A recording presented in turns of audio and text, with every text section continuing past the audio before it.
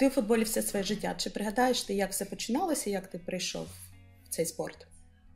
Ну, это, можно сказать, э, в каждом дворе раньше, это не так, сейчас в компьютерах сидят, э, не выгонишь на улицу, а мы э, с самого маленького, там, у нас был спортивный двор, очень много ребят занималось футболом, и я жил возле площадки «Кристалл», там есть у нас такая асфальтная, и я пришел, меня увидел тренер, говорит, слышь ты, белобрысый, не хочешь в футбол поиграть? Я говорю, ну, хотелось бы.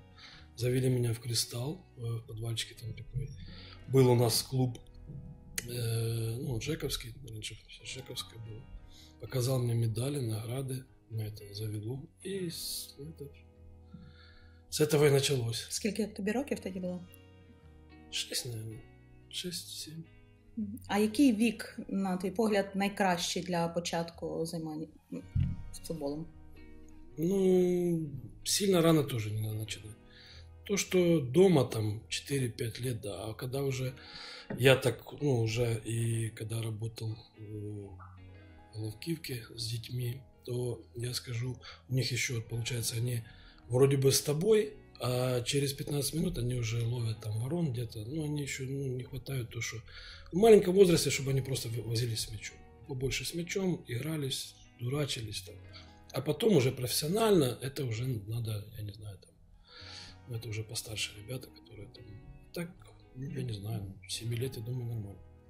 А як батькам побачити, що в дитини є хист до футболу? Ну, батькам это очень тяжело увидеть, потому что батьки все хотят, чтобы у них были Роналду Месси, Мгм. и все хотят прилаживать к этому усилия. Там. Вот я хочу, чтобы он играл в футбол. Но я же говорю, играть в футбол это еще есть ну, разное. Потому что э, в детстве надо, чтобы ребенок просто заинтересовался этим, и у него глаза горели. А там уже тренеры увидят в нем, потому что некоторые ребята приходят, там, начинают с ворота, заканчивают нападающий, или наоборот. Нападающий пришел, и через время ты проходишь, и оказывается, у тебя тренер увидел в тебе там центрального полузащитника. В маленьком возрасте еще это очень тяжело увидеть. Ясно, что некоторые с мячом там технично, это ну, сразу уже бросается.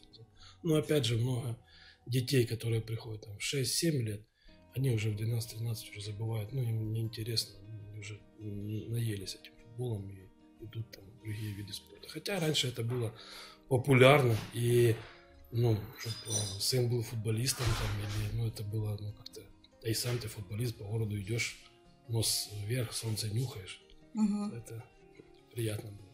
Ти започаткував вже таку династію футбольну. В тебе син грає в футбол. Чи доводилось тебе тренувати його? Ну, як тренувати? Тренувати, іменно тренувати ну, не получалось мне, потому что тренировки там были, он э, находился в, ну, в детской школе, а я больше это. Ну, так тренировки именно дома, то есть это, Мгм. ну, это не назвать тренировки, так Мгм. просто привлечение к мячу, да и все. Мгм. Нещодавно ти став дідусем, коли онук прийде до тебе і скаже: Дідусю, хочу займатися футболом. Яку ти пораду йому даш? Ну, сейчас, если честно, я даже не знаю, что посоветовать, потому что э, я сам его там три дня назад только в руки взял, потому что ну, как-то маленький такой. Это все от него будет зависеть. Э, захочет он быть футболистом или там э, врачом. Ну, это выбор э, каждого ребенка. Я не хотел бы его именно заставлять идти на футбол. Вот если у него будет желание, пожалуйста, иди. А так, я же говорю, именно развитие, ну, физическое развитие, это хорошо. А так бы, конечно, э, хотелось бы, чтобы он был там футболистом, и именно футболистом востребованным, а не так просто, например, побыть там. И, ну, для этого надо много усилий, много всего делать. Э, Как э, Всевышний рассудит, так оно и будет. А щодо тебе, якщо б ти не став футболістом, яку б професію ймовірно ти б обрав? Я даже не знаю. Нету даже, ч- ч- чем бы я мог заняться другим, кроме футбола. У меня это как, ну, я не знаю, хобби и жизнь, жизнь и хобби. Это одно, мне, может, повезло в жизни так. Другим, я не знаю, ну, ничем бы, наверное, не мог заниматься. Ну, хотя, конечно, перестроился, может, там как-то, но все равно мне повезло в жизни, что я э, стал именно ближе к футболу, э, к этой к этому виду спорта, который объединяет э, весь мир. Коли ти визначився, що після завершення професійної футбольної кар'єри ти станеш тренером? Даже сейчас, если можно сказать, э, уже и тренером работаю, но мне еще очень тяжело убить футболиста. Мгм. Все равно я вот как-то, ну, все равно все еще хочется выбежать на, вместе с ними, поиграть там и, ну, ну, тяжело, конечно. Я даже и не задумывался, что я, например, стану тренером. Я про это даже как-то и не думал. Оно пошло как-то само по себе. С каждым годом э, пришлось выбирать именно эту стезю, и я рад, что э, этим начал заниматься. Спостерігаючи збоку за тим, як ти керуєш хлопцем е, під час гри, а, видно, що ти такий. Ну, в мене мені здалося, що ти такий добрий наставник. Ти завжди підтримуєш хлопців, навіть коли вони роблять помилки. Як ти себе відчуваєш? Чи суворий ти тренер? Ну, в каких-то моментах э, я и злой полицейский, и добрый, но с одной стороны я скажу как. Э, то, что я сейчас работаю с, ну, с, можно сказать, с юношами, э, просто я с ними работаю так, как э, я бы хотел, чтобы со мной работали. Э, чтобы я не был там узурпатором или еще. Да, э, я повышаю голос, я иногда кому-то больше уделяю внимание, там, может, грубость у меня есть. Но всегда я проходит э, ночь, переспал, и я понимаю, что ну, где-то, может, я не прав, где-то это, я всегда перед ними извиняюсь, но, опять же, те, которые требования э, от нас есть, они должны выполнять. Если они не выполняют, то, конечно, идет какой-то там крик. Ну, а всегда я на позитиве, всегда я э, и улыбнуться разрешаю на тренировках. Ясно, что какие-то там. А так, э, ну, я бы не сказал бы, что я же там какой-то сильно жесткий. Я думаю, что и должен быть и гнутый пряник. Іноді в першому тайні команда будь-яка, за якою ми не спостерігали, грає так, ну, в'яленько, розгублено. Потім після перерви виходять зібрані, інша гра. Які магічні слова кажуть тренери ось цю перерву своїм підопічним? У каждого есть свои методы, но тут, э, как вам сказать, уделяешь внимание на ошибки, подсказываешь э, за ошибки, там, за какие-то... Ну, нету там какого-то, чтобы мы там орали, кричали. Да, ребята, там, соберитесь, там, но это же тоже можно там постоянно говорить, соберитесь, соберитесь, а толку от этого нет. Просто уделяем на какие-то моменты, на какие-то ошибки, и просто как э, эмоционально надо завести каждого человека для того, чтобы был ну, другая игра в втором тайме. Як зазвичай потрапляють до команди Ю-19? Звідки беруться ці хлопці? До этого были, вот я же говорю, детские школы, которые мы Мгм. там за ребятами следили, тренеры звонили, нам говорили. Э, Здесь больше как э, тренеры нам, их детские тренеры, звонят, говорят, у меня есть там хороший парень, там, посмотрите того-то, того-то. Они приезжают, и мы уже там смотрим, какие он подходит или не подходит нам. Ну, у каждого свои есть там взгляды, у нас свои критерии есть. Может, здесь э, ребенок приехал к нам, э, не прошел у нас, а в другой команде заиграл. Это тоже зависит от э, ну, своего стиля игры там, или как это объяснить. Ну а так больше, я же говорю, э, это тренеры детских, детские тренеры, которые нам советуют. Есть у нас э, э, селекцион, ну, селекционер, который занимается этим тоже. Очень много ребят через него к э, приезжают. Цей період, коли е, гравець знаходиться в команді Ю-19, він не тривалий один-два роки. Чи важко потім розставатися з цими хлопцями? А чи відслідковуєте ви подальшу долю цих гравців? У нас каждый год новый коллектив. Все равно ребята уходят через год, кто-то старше становится, уходит. Конечно, следим. Интересно, э, что какие э, ребята там достигают целей дальше. Следим за этим.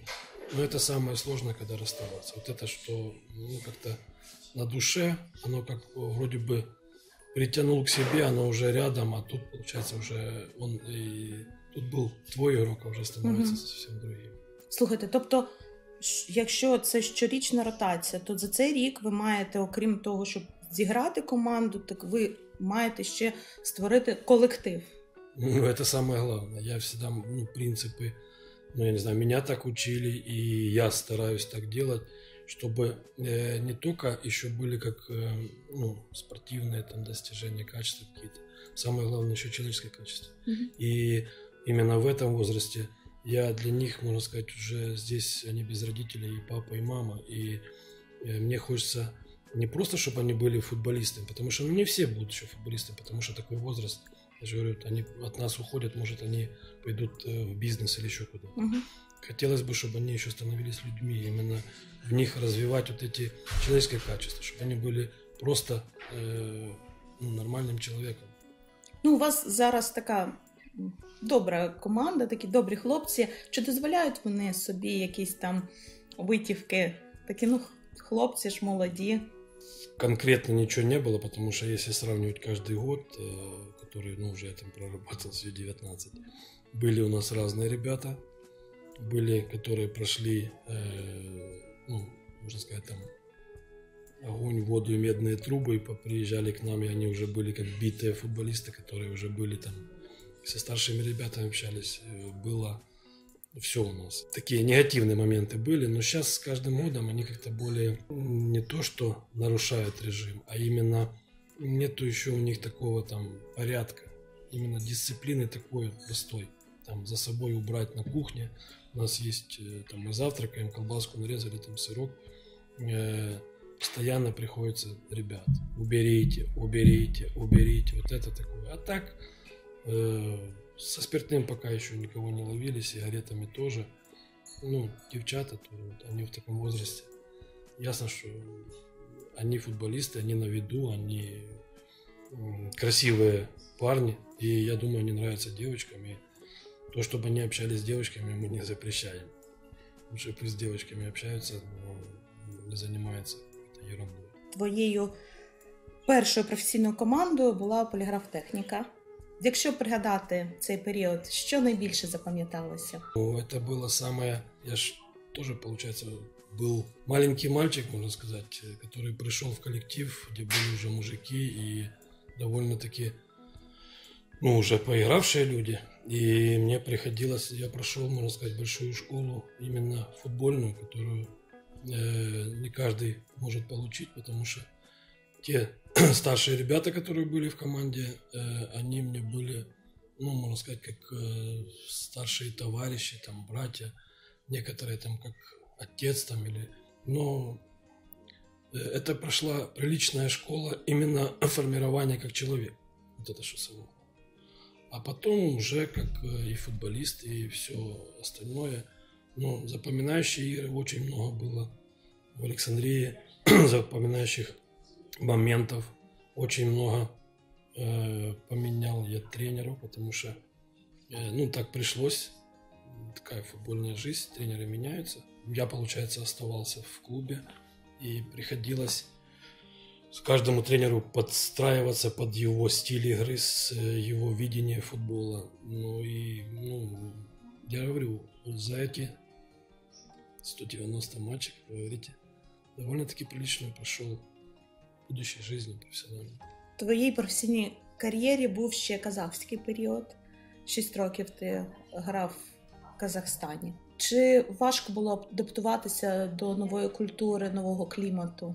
Изначально, можно сказать, да, потому что футболист, как э, военный, э, мы профессионалы, мы должны работать э, по контракту, получается, работа. Где ты востребован, там ты и э, нужен, получается, и там ты играешь. На тот момент э, заинтересовались казахстанские специалисты мной, и тогда первый раз мы вообще на сборах появились в Сочи, приехали. И нас очень много было ребят с Украины, но осталось там э, ну, очень мало. И это был ну, большой шаг, потому что когда я взял карту и показал жене, где я буду играть, то это довольно-таки прилично. Но, опять же, все футболисты, все, можно сказать, э, хоть мы и на разных языках разговариваем, разные культуры, но вот этот э, футбольный мяч нас объединяет, и на футбольном поле уже не было там э, казах я, там, или там узбек, или любой легионер, там, украинец или русский. На поле мы все единое целое, и ну, я Сашу каждый шаг, надо каждому шагу готовиться, но опять же надо себя э, находить в этом коллективе, как-то показывать свои сильные, лучшие качества. И люди воспримут, если ты нормальный человек, я думаю, в любой команде, в любой стране ты будешь э, заинтересован, ну, тобой будет заинтересован, и ты вольешься в коллектив. Чи відрізняється казахський футбол від українського? Підходи якісь? Не, ну все равно все одно и то же, но там очень много перелетов было. Вот это что, очень жарко, э, потому что в тени там по 55 градусов было. К этому очень тяжело было адаптироваться именно к жаркой погоде. А так футбол, он везде одинаковый. Ну, можно сказать, сильно вот узбеки, казахи, они более техничные, менее как бы, э, ну, я не скажу там, что они лентяи, но они не такие, как, например, те же самые украинцы, которые могут от звонка до звонка шарашить, от бровки до бровки, и потом все. А иногда у ребят, они такие были э, профилоне, там где-то на, на сборах, на тренировках, ну, такие более э, жалели себя. Мы, мы более были такие рабочие лошадки. А ребята, я же говорю, они такие более любители были техничного футбола, какого-то там поменьше бегать дни, поменьше там каких-то, ну, отработали и пошли домой пить чай. Цей досвід гравця допомагає тобі у тренерській роботі? Ну, конечно. Я думаю, все равно переходить на тренерскую работу все-таки э, людям, которые прошли какой-то ну, школу футбольную проиграли, тогда ну, более легче, мне кажется, э, входить в тренерскую э, до, ну, должность тренера. Но опять же, есть э, много тренеров, которые даже ну, футбол не играли, но становятся тренерами. Тут ясно, что дает много чего, потому что с каждым тренером, ну, разных тренеров э, работали с, с разными тренерами. Ну, это большой опыт, конечно, но все равно я скажу, э, всегда хочется учиться, учиться и учиться, потому что, ну, я думаю, тренерскому э, мастерству предела нет. Если ты будешь ну, на одному місці, то я думаю, це тяжеловато. Трохи, можливо, таке нефутбольне питання. Тренер зазвичай під час гри дуже голосно вимушений кричати. Як потім відновлюєте зв'язки свої? Я говорю, зараз дуже проблемно стало. Я за це период очень много накричался, и уже голос не восстанавливается. Потому что многим ребятам звоню, которым давно уже это, ну, общаюсь, там, что с голосом, что такое? Ну, накричался, там, не знаю, ну, они как-то уже не восстанавливаются. Хотя всегда думаешь уже, я уже не буду, сегодня уже все, игра, не буду кричать, не буду кричать. Все равно, ну, как-то там те самые тренировки. Хотя все вот говорили, ну, говорят там тренеры, ты должен на тренировке объяснить, и они должны, ты уже на игре не, не должен на них кричать, они должны. Ну, мне кажется, такого все равно какие-то подсказы есть, все равно где-то ты должен э, какой-то голос, все равно они должны тебя слышать, как бы там не 100 тысяч на стадионе было, я думаю, все равно э, ты своими жестами, криками э, до него хочешь достучаться, чтобы, например, там какой-то момент, все равно ты там, как и Клоп там свистит даже, но ты все равно своими жестами даже можешь это все объяснить. Ясно, когда там, много людей ты не докричишься, но все равно, я думаю, когда ты своим даже видом, своим взглядом уже можешь объяснить ему, где он прав, где не прав. З наступного сезону кожен клуб повинен мати команду, жіночу команду. Як ви ставитесь до жіночого футболу? Есть индивидуумы, есть девочки довольно-таки неплохие, игровики. Э, я думаю, те игровые виды спорта, там гандбол, э, баскетбол, тот же волейбол, э, девочки, ну, есть игровики, которые, они, может, играли бы в футбол. Я же говорю, смотреть даже вот эти команды, которые там сборную США, Францию, женские команды. Они и вроде бы и женственные, и вытворяют на поле такое, что некоторые футболисты не могут. Это здорово, конечно. Но, опять же, то, что у нас команда, например, у нас маленький город, э, найти э, девчонок для того, чтобы заниматься чисто футболом, я думаю, это очень тяжело. Ясно, что может на каком-то любительском э, можно, да, но это, представьте, если тут ребят э, тяжело заставить играть в футбол, а девчонок э, для Украины, мне кажется, это еще как-то рано. Да, есть команды, есть девчонки, которые, я, ну, молодцы, что делают команды. Но я думаю, нам будет проблематично сделать именно, чтобы это были воспитанники нашей области или города. Может, где-то, опять же, э, мы и создадим эту ну, футбольную команду. Но, опять же, она будет собрана э, со всей Украины. Э, именно мы не сможем набрать именно наших девчонок. Ну, а так, я же говорю, сейчас вот даже 8 утра по нашему времени в Шимкенте проходит сейчас Лига чемпионов. И наши девчонки Житлобуд 2. Они играют в Чемкенте в Казахстане в 1-16. Які будуть сподівання, які плани на друге коло чемпионата?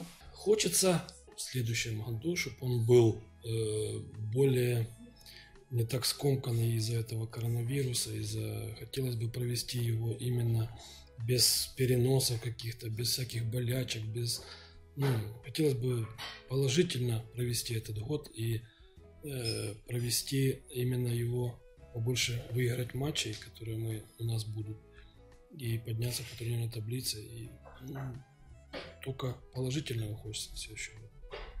Всегда к этому стремимся.